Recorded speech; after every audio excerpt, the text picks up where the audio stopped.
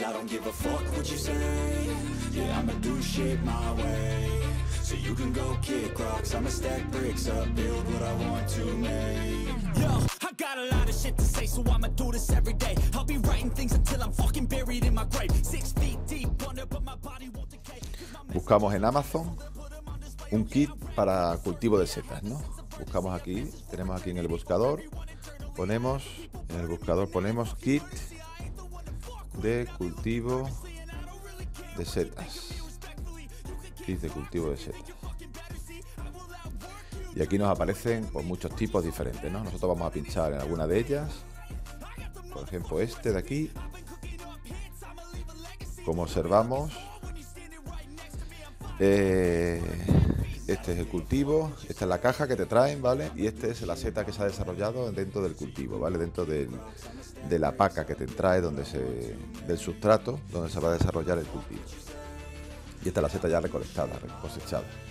Bueno, aquí como instrucciones generales dice que este kit de autocultivo de setas de ostra podrás disfrutarlas en casa con una experiencia fácil, divertida y sostenible. El uso es muy sencillo, solo tienes que abrir y regar y en unos pocos días cosechar las setas. Eh, en cada kit es posible obtener hasta tres cosechas diferentes. Es un producto garantizado, comestible y 100% seguro. El tiempo de germinación aproximadamente son unos 15 días, ¿vale? Bueno, vale, yo tengo seleccionado ya un kit, ¿vale? Donde viene esta paca. Viene la paca donde está el cultivo, donde está el sustrato, donde se va a desarrollar la, la seta. Viene envuelta en este plástico, ¿vale? Con una serie de agujeritos. Eh, sobre los agujeros y manteniendo la humedad que vamos a comentar a continuación, se van a desarrollar la- las setas. Eh, yo en mi caso le voy a quitar todo completamente el plástico. Es cierto que cuando le quitas todo el plástico se va a desarrollar todo el cultivo, pero ¿qué va a hacer? Pues que las setas eh, van a ser un poquito más pequeñas que cuando se desarrollan solamente en, sobre estos tres agujeros, ¿no? Como, vemos aquí en la imagen. Aquí la seta, el cultivo solamente se ha desarrollado en estos, eh, los agujeros que se le ha hecho al plástico, ¿vale? Para que se desarrolle. Vemos, aquí vemos el cultivo. Bueno, en nuestro caso vamos a verle las instrucciones. Eh, a mí me ha llamado la atención de esta, de esta empresa que vende este, este sustrato, pues que es un producto natural, ecológico y reutilizable. Es decir, que se puede utilizar después como abono para las plantas que una vez, una vez agotado gracias a su alto contenido en minerales, ¿vale? Bueno, en cuanto a las normas generales, eh, digamos que esta bala, el punto número uno es que es una bala de seta que ya está germinada, es decir, que ya está preparada para desarrollarse en nuestra casa, en nuestros hogares. Eh, ¿Dónde se coloca la bala de las setas, del cultivo de las setas? Bueno, el lugar para llevar a cabo el cultivo debe estar libre de, de insectos. Eh, debe ser un lugar bien iluminado, pero sin sol directo, para evitar corrientes de aire. Las condiciones del cultivo óptimas son entre 15 y 16 grados centígrados y una humedad ambiental del 80%.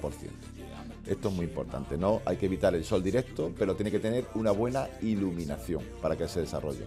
Y las condiciones del cultivo entre 15 y 16 grados centígrados con una humedad del 80%. Bueno, se sacamos la bala fuera de la caja, por supuesto, y se coloca en lugar elegido para el cultivo. Es muy importante no mover eh, la bala mientras esté el cultivo, ¿no? Dejar el, kit en, en un sitio fijo siempre, durante todo el, todo el ciclo del cultivo.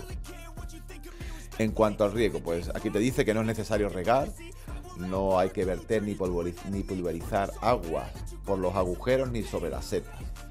Lo importante es controlar la humedad ambiental, ventilando el lugar para disminuirla o pulverizando agua en el ambiente para aumentar la humedad relativa del, del ambiente. ¿no? Y te dice ahí en letras mayúsculas, nunca pulverizar agua sobre la bala del cultivo ni sobre las setas. Bueno, en cuanto a la iluminación, proporcionar una buena iluminación de 7 a 8 horas al día, como cualquier planta, ¿vale? Pero nunca exponer al sol directo. Puede usar iluminación natural, incluso iluminación artificial. Invernaderos. No poner la bala en invernaderos o caja de invernaderos ya que requiere una buena oxigenación, pero sin que se produzcan corrientes de aire. En cuanto a la recolección es importante recolectar las setas de raíz, sin dejar restos del pie en la bala, ¿vale? Es muy importante.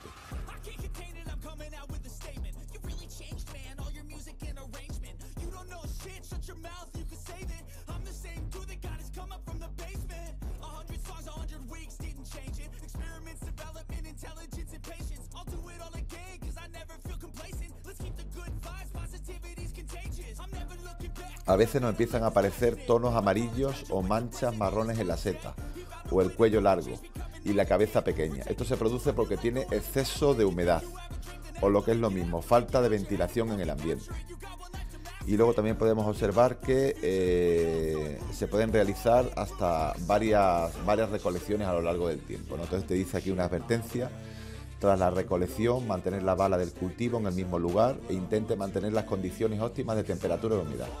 Hay que olvidarse eh, de ella durante unos 20 días, sin tocarla, sin regarla, sin moverla, tan solo controlando que se mantenga la humedad ambiental del 80% y una temperatura de unos 15 grados centígrados en función de las condiciones del cultivo, puede llegar hasta tres meses de la siguiente floración, aunque tenemos casos de floraciones de unos 20 días en las condiciones óptimas.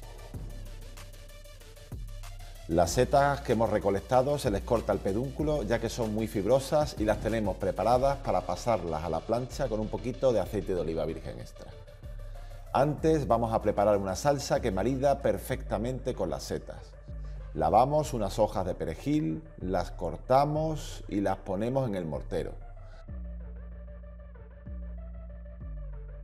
Pelamos un par de dientes de ajo y los añadimos también al mortero. Y posteriormente las molemos con la maza. Se le añade un chorreón de limón, una cucharada de aceite de oliva virgen extra, medio vaso pequeño de vino blanco y lo removemos todo. Se colocan las setas en la sartén con un poquito de aceite de oliva virgen extra, se le añade un poco de sal y se pintan las setas con la salsa que hemos preparado previamente. Dejamos que las setas se hagan hasta que estén doradas ligeramente. Le damos la vuelta a las setas y esperamos unos minutos hasta que se doren por completo.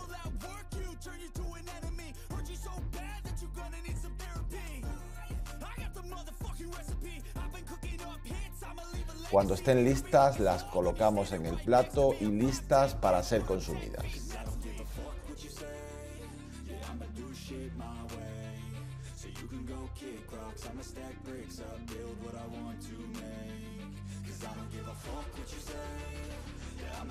Buen apetito. Si te interesan estos vídeos sobre los alimentos y su relación con la ciencia, dale al like, suscríbete al canal y toca la campanita para que te lleguen las notificaciones de los nuevos vídeos. No olvides compartirlo con tus familiares y amigos. Muchas gracias.